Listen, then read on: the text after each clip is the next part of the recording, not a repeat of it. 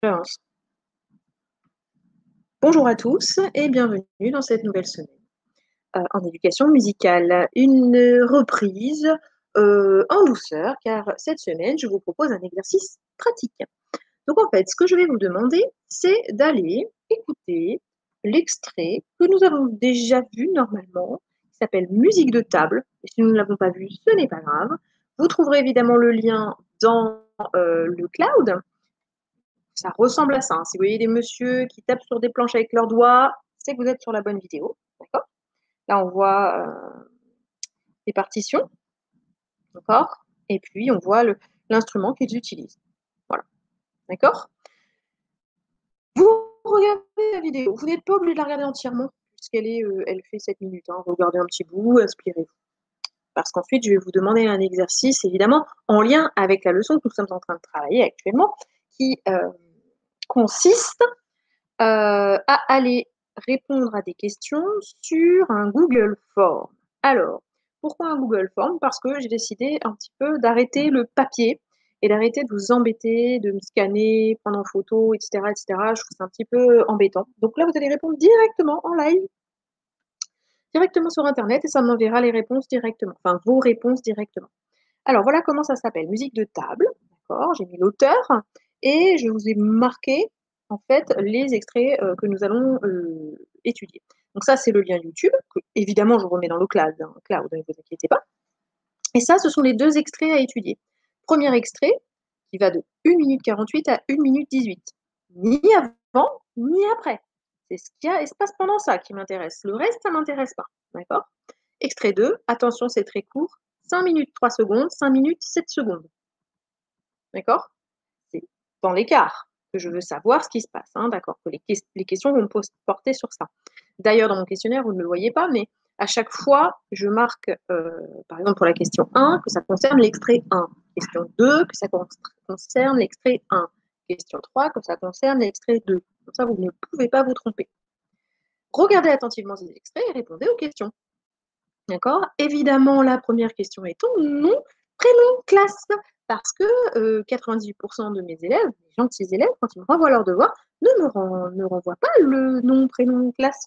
Et du coup, je perds beaucoup de temps. Donc, bon, ça, c'était un petit clin d'œil sur la, première partie de, cette, cette classe confinée.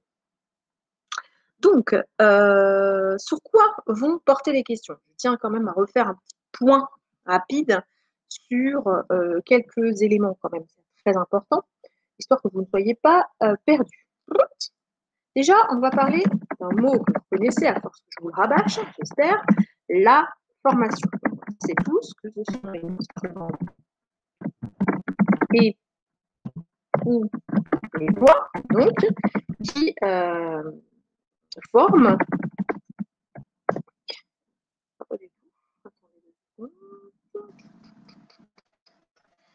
forment la musique. D'accord Il se peut que je vous demande dans tel extrait quelle est l'information. Dire ce que vous entendez, évidemment. Ensuite, je vais vous demander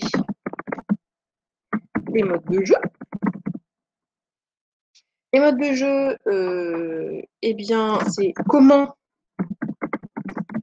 on utilise, pardon, utilise les instruments. oui, les instruments. Par exemple, si je prends une guitare, donc je répète tous les exemples que je vous ai déjà donnés. Hein. Une guitare, je peux gratter, pincer, faire des arpèges, des accords, d'accord Mais je peux aussi décider euh, de faire des percussions dessus.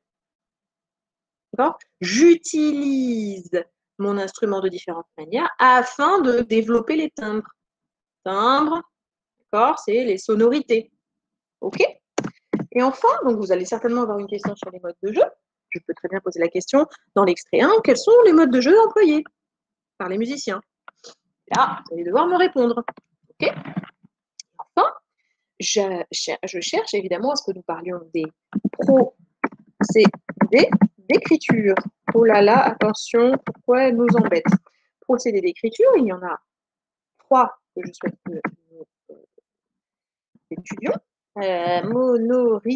euh.